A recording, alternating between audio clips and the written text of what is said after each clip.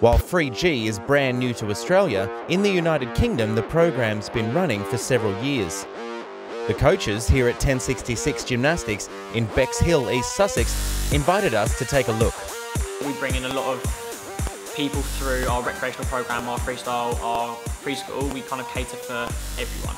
Yeah, so we would see a couple of hundred children come through every week.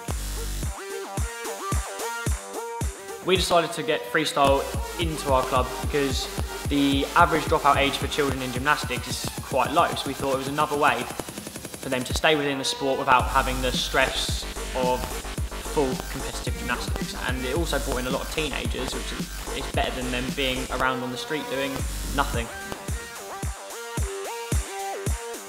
Well, when freestyle started in this club, I was only a participant. I never did gymnastics as a young, uh, like when I was younger, and I never thought I would.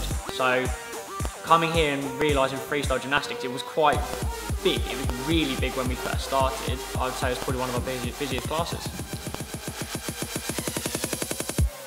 I would say all you need is a couple of coaching blocks and a couple of mats and then a set of bars. You don't need a fully built like freestyle gym to cater for what they need to be doing.